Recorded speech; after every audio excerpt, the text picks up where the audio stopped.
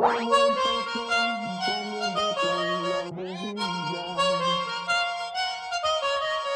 on my 90 days series, you saw a version of the Issy Akka. So it's the Akka where he flicks it from the ground, okay, and then round the player. Okay, that video is on the channel on the 90 days of improvement series, all right? But today I'm gonna show you a different version. He did this on the, the futsal court, okay? And the important bit is to get that ball in the right position, all right? So I need it on my left-hand side if I'm right-footed. If you're left-footed, get it on your right-hand side. So what I do here is I put the ball in an area in front of me that a defender wants to get the ball, all right? So once you've got that down, we need to get our non-kicking foot behind the ball like this, okay? Because the important thing here is then to pop the ball up with the flick up. So the flick up is drag that ball back and just sort of lift your toes and pop that ball to your right hand side about waist height. And then we can spike the ball down to get around the player. Step one, roll the ball behind you.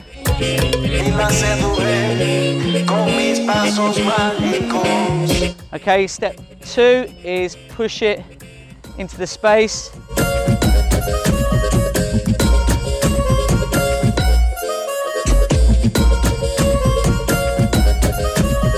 Step three is you put your foot on the ball and roll it over your toes.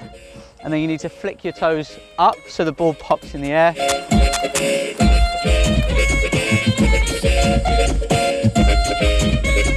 And then step four is you spike the ball down around the player.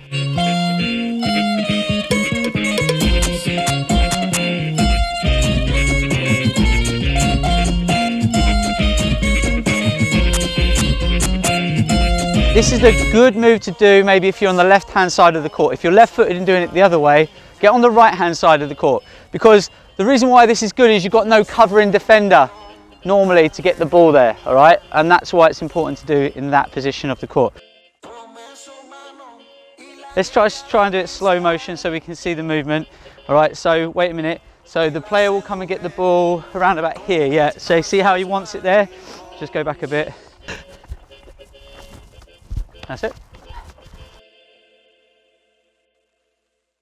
If you're new to the videos, don't forget to subscribe and click the notification button to tell you that new videos are there for you to watch first. Click the like button and leave a comment below and tell us what you want to see in future videos and we'll see you soon.